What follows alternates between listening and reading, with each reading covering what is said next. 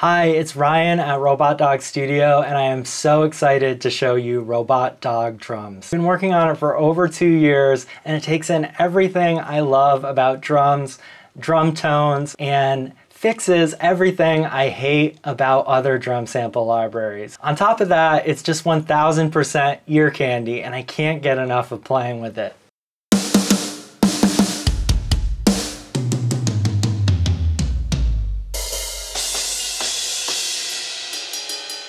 Robot Dog Drums does so much and does it in a very simple way. I think it's really helpful when you are working with a drum sample library to have it sounding fully mixed right out of the box. And if you want to then break it down to raw drum samples to mix later, uh, being able to do that if you want. But having that fully mixed sound, I think is really key. You can write your song around that and you, you're not guessing at what it might sound like. And you don't have to be a mixing genius to get a finished sound when you're ready to do your finished mix. So I distilled down all the mixing and processing down to one knob, the character knob. So you can start out with a fully mixed sound, like a very modern glossy sound like this.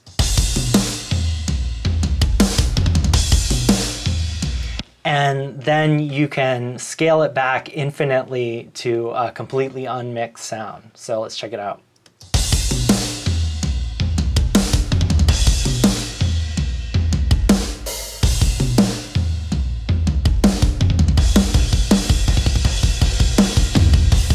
It's just a really powerful way of getting the tone that you're looking for. So I made 10 real world presets and I built them around professional recordings that I had done for real clients. I replaced the drums with Robot Dog drums and I made them sound as good or in some cases far better than the original mixes that I had done with real drums. So I'll just I'll just buzz through these presets for you so you can get an idea.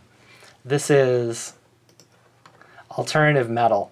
Next up is Basement Punk.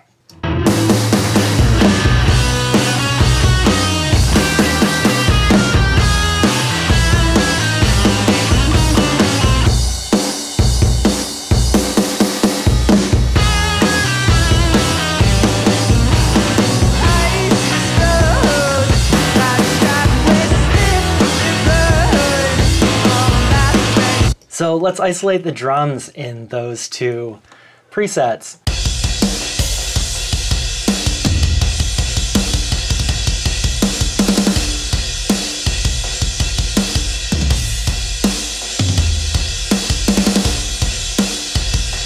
just changing one thing over to basement punk and you're in this sound.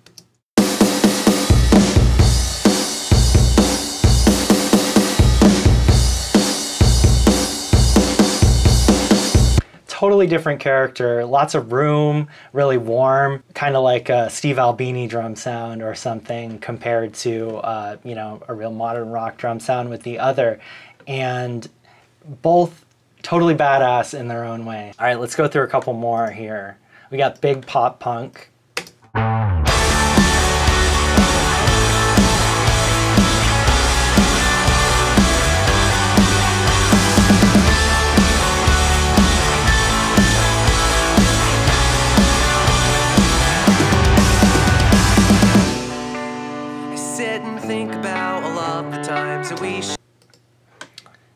Got clean fusion.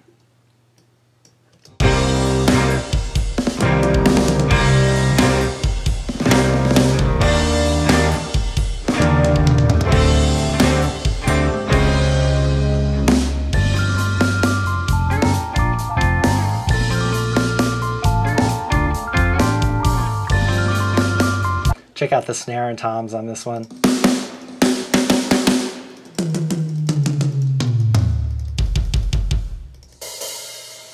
Next up, we got dry funk.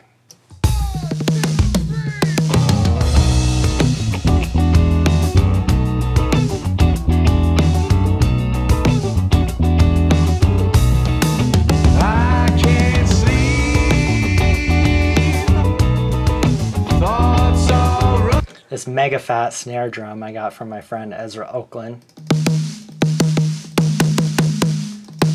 if you hit the center of the drum there, you get the center of the drum sound. If you hit the side, you get the rim shot. Then there's the side stick sound. All right, next up is hardcore grind. This is fun, super aggressive.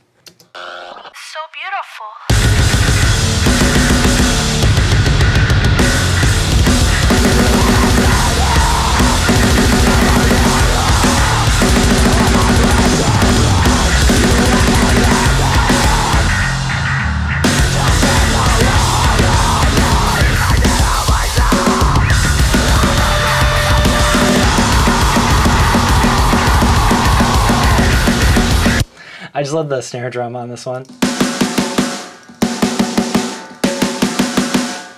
Amazing. All right, what else we got? Heavy shoegaze. This this one is just I, I love this one. These as you can tell, it's just like total ear candy to me and I love it and I just I really hope you all love it too. Heavy shoegaze.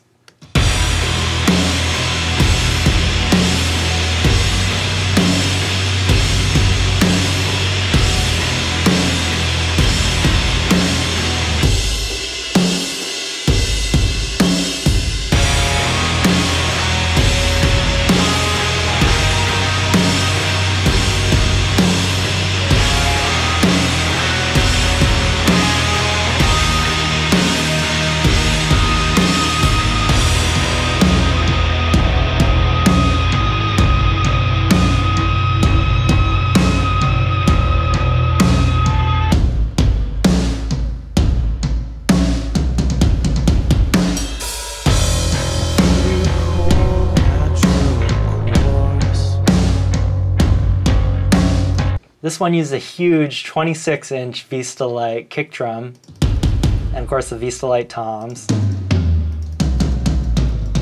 And this incredible instrument, the Tama Artwood 8x14 snare drum, probably most famously the Dave Grohl uh, Nevermind snare drum. This one I sampled several times to get just right. There's so many overtones to it and eventually I finally got this really clean, huge sound out of it. I'm really happy with it. Super fun to play on V-drums too. Next up is indie pop rock.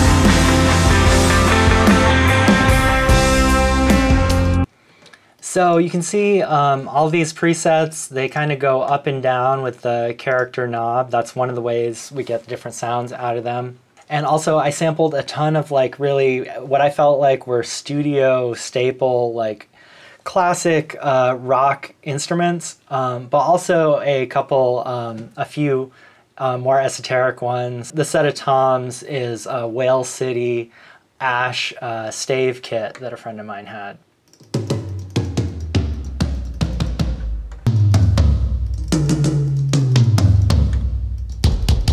Noble and Cooley kick. Also a Noble and Cooley beach snare drum. really good like apple bite being taken out of an apple crack sound on this one.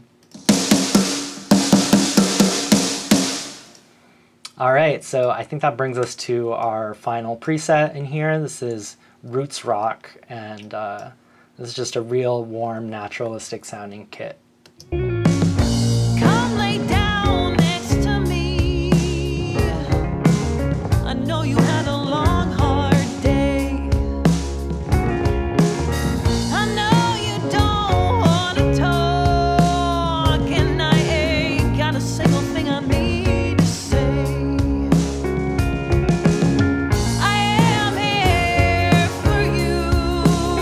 This kit is really good for doing like a, a train beat for country Americana.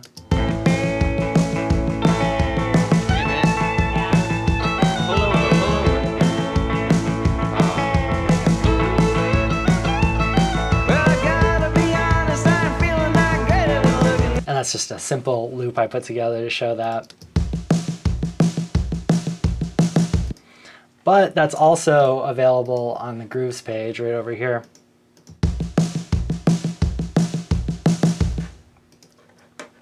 Anyway, uh, again, like such a variety of tones you can get out of this. Just, you know, primarily choosing different instruments and um, using that character knob. Roots Rock. Come lay down next to Let's solo it. Roots Rock.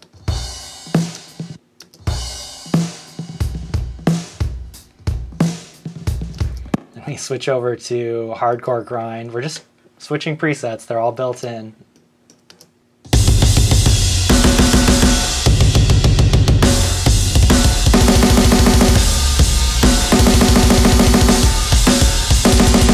So much fun. All right, so let's uh, quickly go through what's going on in the plugin. So we talked about this character knob. Uh, there's also this punch switch.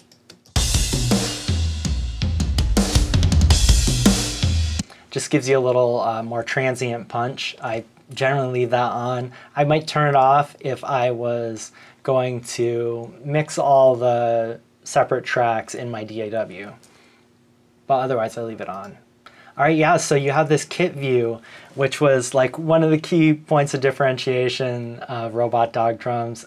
Every other plugin has this kind of, I hate to say it, but cheesy 3D rendering of a drum kit. So I created this uh, colors and shapes, uh, simplistic aesthetic, and I think it's super fun. I love it.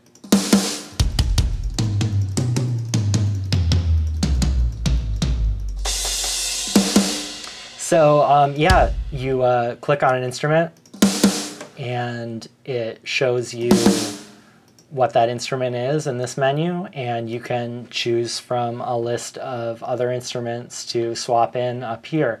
Uh, the snare drums, we've got something like uh, 14 different snare drums and they're like, like I said, they're just perfectly curated, tuned to perfection. Um, I sampled many more snare drums than this and I, I threw out quite a few. I didn't want to put anything in this instrument that I wouldn't use myself. And each one of these just, like I said, thousand percent ear candy. I could just pull them up and just just click on them and just enjoy the sound.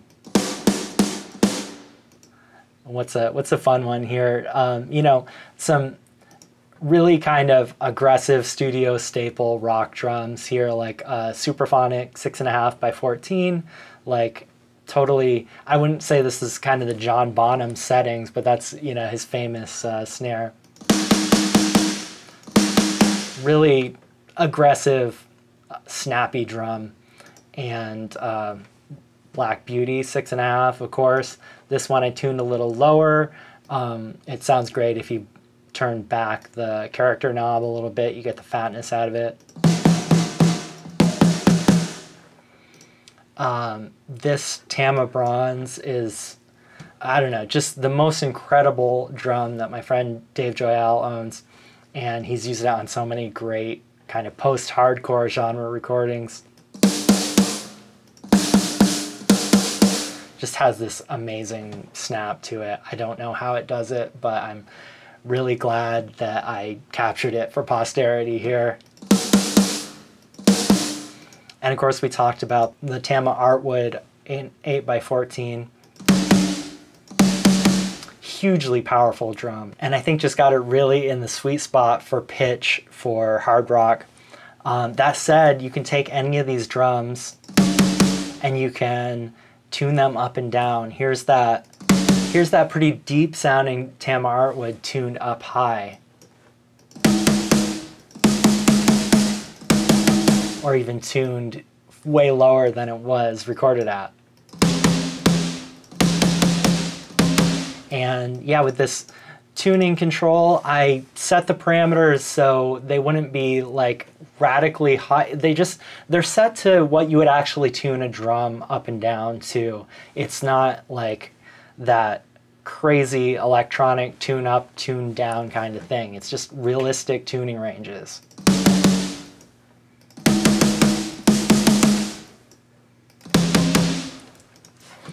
All right, and when I was re-sampling, trying to dial in this Tama, um, my friend Ezra gave me this. I, I didn't even know what to think about this Premier Brass Hard Rock Nine or Rock Nine. It's like a nine-inch drum. It was the the deepest snare drum that I sampled, and I didn't know what to think about it. He said just tune it low, and it's it's a beast. That I think is my lowest tuned drum in the pack and it was I was so glad to get that in there because it really fills out that like a big fat 80s kind of snare drum.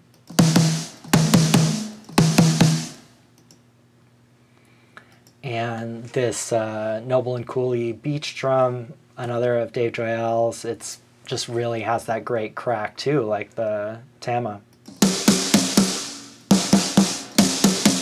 But like a kind of a, an, an airy woody sound to it.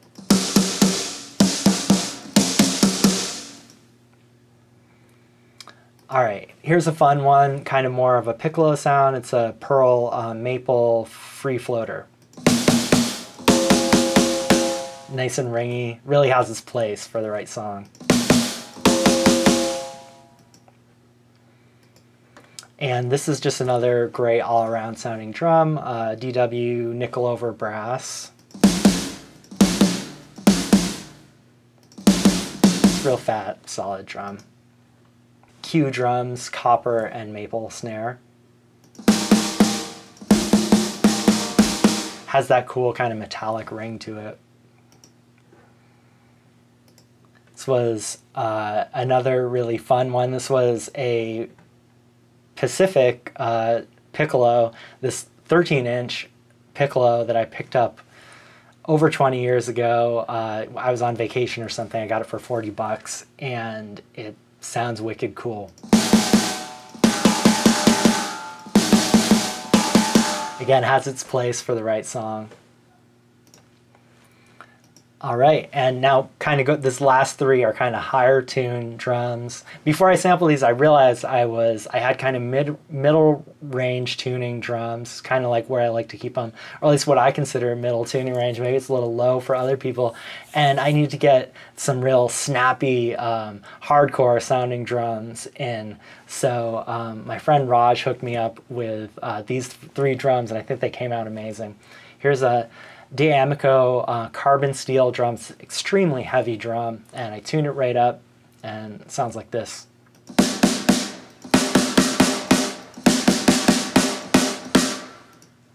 Next is uh, Canopus uh, brass drum that sounds pretty similar to the D'Amico, but it's sounded so good I had to keep both in. Got a little bit more of a thonk to it. It works really good for a fusion sound. I use it for the clean fusion preset. And lastly, I think this was like a, a vintage Sonor Maple seven and a half by 14 drum and it had brass hoops and this really vivid uh, orange color.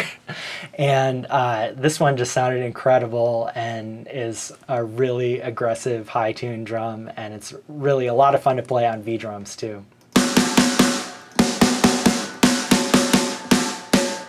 Yeah, so that's that one. I love that one. So the other really cool thing about every snare drum is you can flip it to a snare off sound.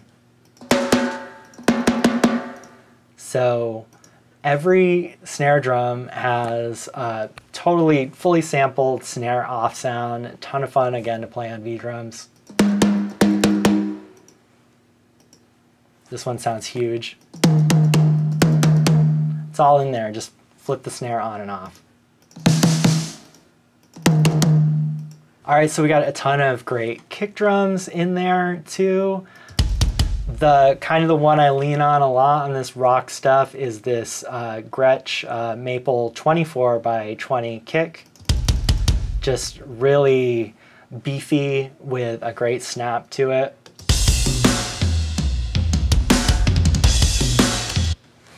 And there are just a ton of other great kicks. They all have their use. Noble and Cooley, uh, Yamaha Recording Custom, uh, the house kit uh, for Robot Dog Studio, which is uh, PDP Birch uh, kit, and man, the kick kick just sounds great as an over all around good sounding kick drum. Uh, and of course, the Vistalites got a huge 26 inch one. Sounds amazing. And then another variation, 24 inch, tuned a little higher.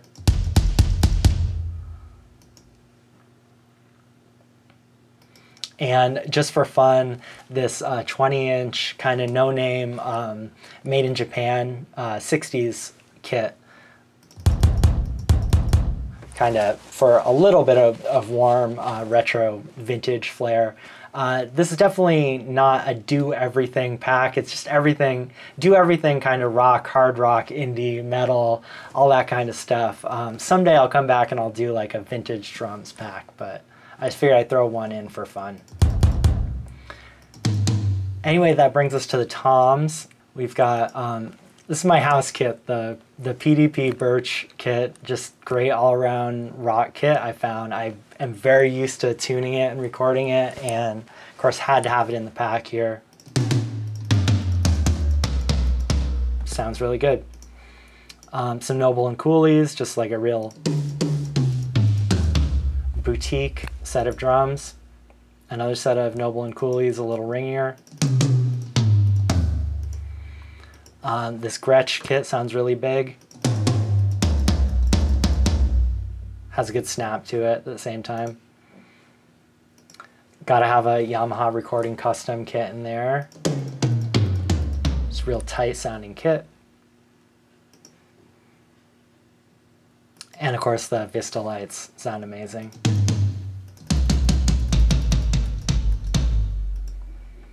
Uh, a couple others in there, and of course um, the the made in Japan toms to go with that kick. Real nice and, and warm and dry sounding.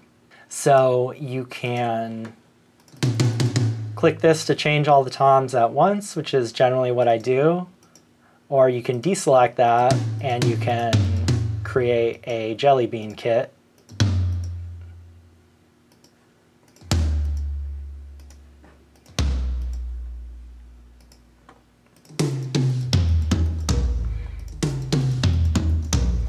And you know they sound a little different but you'll notice they're all like really compatible. They you know it's just uh, kind of my style of tuning and recording. They're all they all kind of kind of will fit with each other and i think you can do some really fun things uh, mixing and matching like that. All right so i think that brings us to cymbals a ton of really great cymbals were sampled. Like i'd say a really comprehensive collection of cymbals i wanted to represent the major brands. We'll check out the hi-hats starting with uh, starting with the Zildjians. I use these uh, these old like '90s Zildjian New Beat 15 inch hi hats uh, in my studio a lot.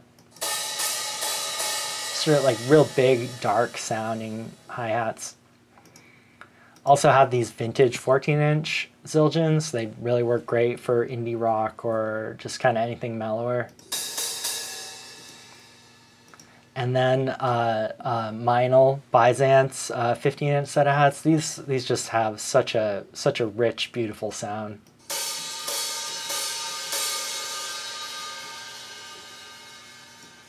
And uh, some Paiste dark crisp 14 inch hats. These also have a really complex sound, really pretty.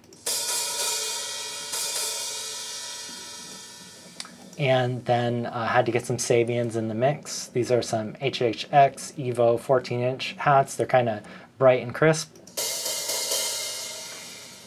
And then uh, you know same thing all you know the major brands represented in the crash cymbals all kind of big crash cymbals they're in there uh, good selection five different rides from those major brands um, then we've got you know a bunch of chinas uh, even a bunch of even a couple even even three different little bell bell sounds in here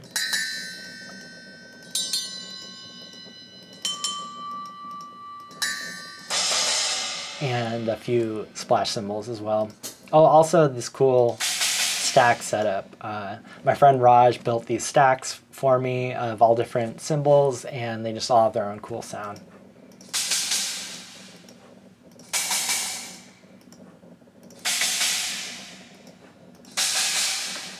And lastly, on this page, there's a few uh, percussion pieces built in, just for fun. and they're samples taken right out of uh, commercial songs that I produce, so they work really well in a mix.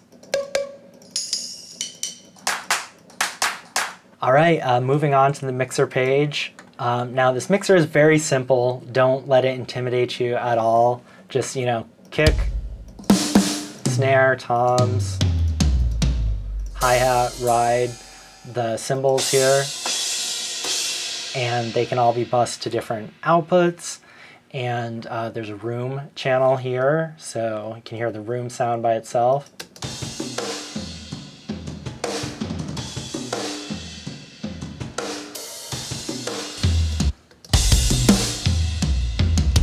Here with no room sound. This isn't a particularly roomy preset. Let's go to uh, heavy shoegaze. That one relies a lot on the room sound. So we'll switch over to heavy shoegaze and listen to that one.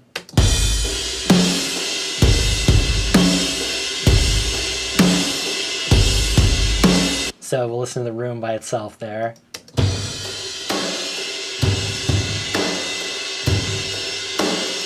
And then we'll uh, take the room out and we'll see how much of a difference that makes to the sound.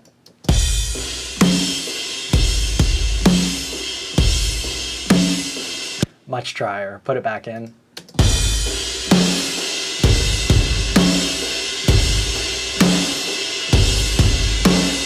Love it. Uh, let's go to the post-hardcore sound. I want to show y'all something. All right. All right, so this is a cool thing I built right in. It's uh, kind of additional trigger samples built right in on the kick and snare, and they're kind of curated to work with each of the different snare drums and kick drums, and just something you don't have to think about. You can shut them off if you want. Anyway, here's the here's the kick sound, and you can crank up this 808. I called it. You can get that really aggressive sample in there. Just put it down to the default level if you you know want it blended in like I intended it to be blended in. Then here's the snare. Turn up the trigger on that. Turn off the trigger. You just, on any of these, if you want to bypass them, just click on the word. All right, so that's snare with no trigger. Little wussier, turn the trigger on. Fattened up. So that's all built in. That's just like one of the things that just gets you more to a completely mixed sound right out of the box. And you know, if you don't want to use them, you just shut them off like that. One thing you might want to do on any sound here is kind of vary the amount of room sound of like say the kick or snare, which is something you're doing all kinds of tricks with on an acoustic mix to try to do. But you can just sort of crank up the amount of room here on the snare just increases the amount of room that comes through the room mic channel. Or you can turn it down and get a very dry sound. put it to default. So in that same vein, if we solo the room channel, you can vary the size of the room, you know, within reason here. So here's here's the most amount of room you can add. Or you can make it a very small, tight room sound. Or somewhere in between.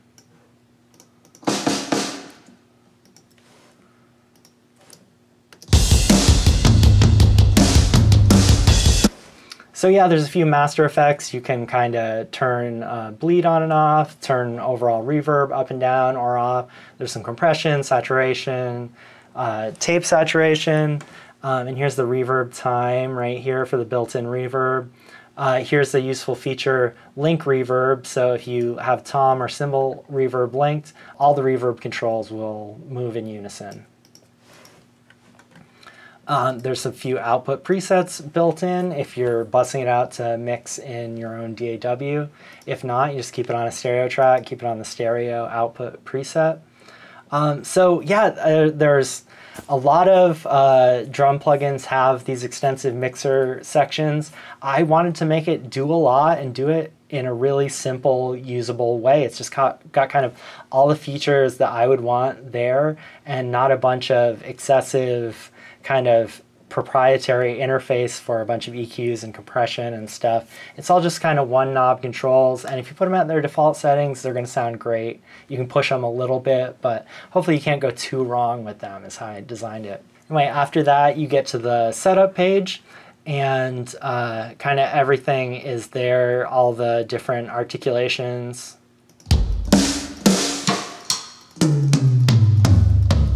Even tom rims and tom rim shots. Uh, you can configure it for electronic drums.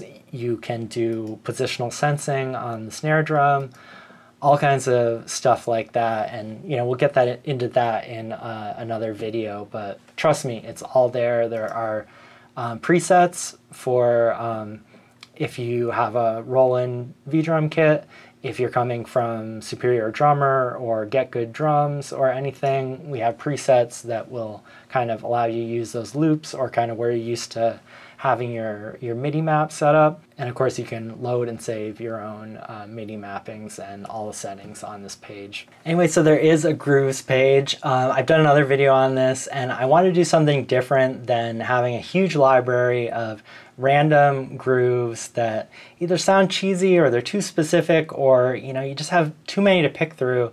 What I did was just created some some starter grooves here that just take away the most tedious part of programming, pro programming in the basic backbeat.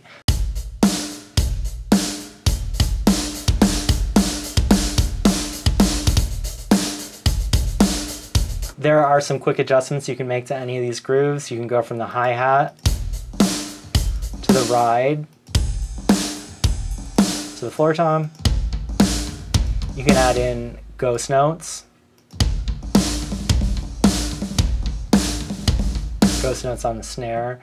And you can start it off with a crash.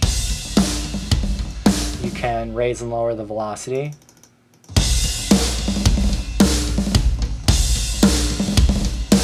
So you can pull those basic backbeats into your DAW. Sounds like this. And then you can go in and just, you know, customize it to whatever bassline you're working with.